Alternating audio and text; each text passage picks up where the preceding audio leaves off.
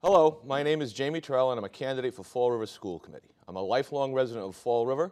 I am married to the former Diana Bellamore and we are the parents of three children. Nicole, age 25, a graduate of Johnson & Wales University, Daniel, age 22, and Andrew, age 18, both students at UMass Dartmouth. I seek the office of school committee for a variety of reasons. I firmly believe that education is the foundation and the underpinning of the community. The quality of education affects everything from social issues to crime to economic development. If the city of Fall River hopes to attract industries that provide good paying jobs, then, then we must be able to provide an educated workforce to fill those positions. Everyone who is a resident of the city of Fall River has a vested interest in the success of the public school system. Currently, the Fall River school system is operating under a state mandated recovery plan. It is imperative that progress be made with respect to benchmarks and goals laid out in this plan. In the area of fiscal management, the establishment of a school department budget is often done at the last minute with little, limited time for study and debate by the school committee. I would propose the establishment of policies that will build a budget based upon a zero-based approach in every school building. There would be the establishment of a series of deadlines which would require central administration to present to the school committee a preliminary budget by a predetermined date that would give the committee ample time for study and debate. When building a budget, the day-to-day -day needs of classroom instruction must be met before all areas are addressed. Our focus must be on providing the teachers and paraprofessionals in the classroom with the tools they need to educate our students. We must use every means necessary to control the problem of ever-expanding class sizes, which detract from the learning process and shortchange the students of the system. The problem with the school department budget lies not with bloated areas of waste, but in decisions made as to where and how available financial resources are used.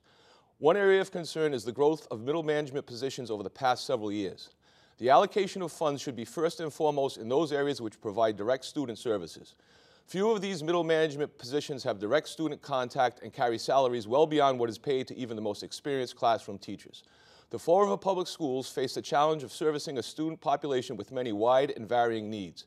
In meeting these needs, it is important that funding be used to provide teachers and paraprofessionals who can assist students who very often struggle to learn for a number of reasons.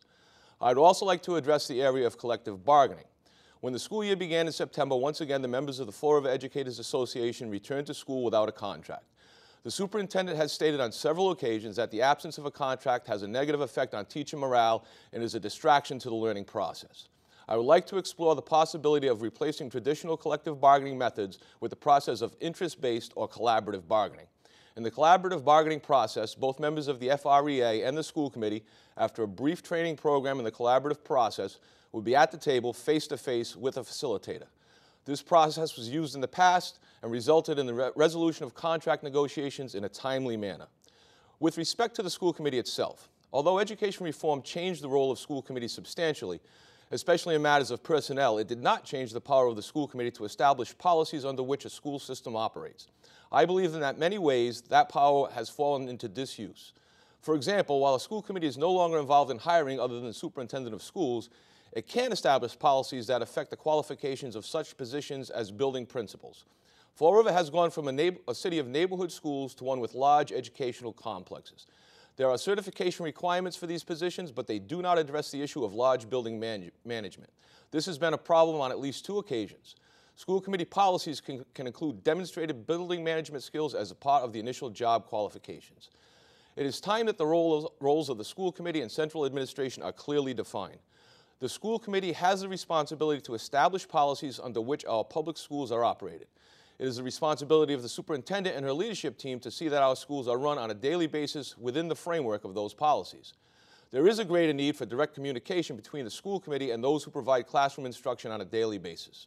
While the school committee cannot and should not involve itself in the day-to-day -day operation of the public schools, it can serve as an advocate in bringing to the attention of the school department central administration the concerns of students, parents, teachers, and the citizens of the community.